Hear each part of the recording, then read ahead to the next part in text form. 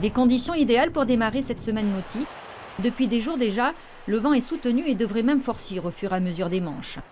De quoi annoncer des régates physiques et entretenir auprès de nombreux visiteurs et des délégations étrangères la réputation du plan d'eau de Shelcher, un plan d'eau jugé imprévisible.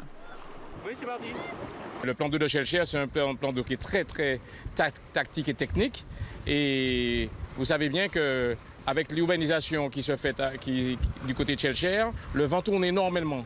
Donc tant que vous n'avez pas fait couper votre ligne d'arrivée, vous n'êtes pas premier.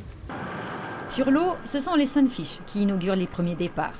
Seulement 4 inscrits cette année, mais avec de vieux briscards à la barre.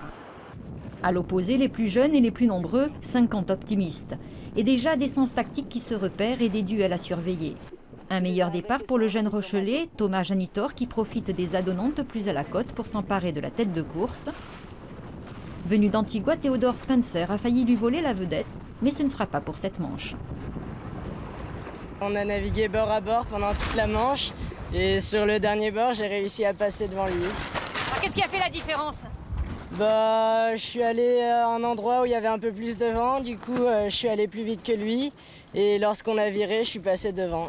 Avec 12 coureurs engagés, la délégation d'Antigua est l'équipe étrangère la plus représentée.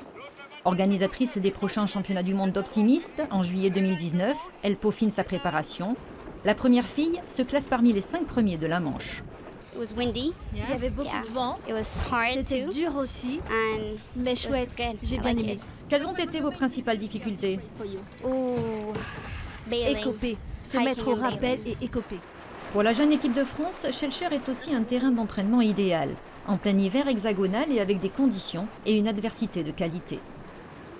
Nous mesurer à nos, nos petits collègues de la Guadeloupe et de la Martinique, on n'a pas souvent l'occasion de rencontrer, mais ils sont bons dans le vent.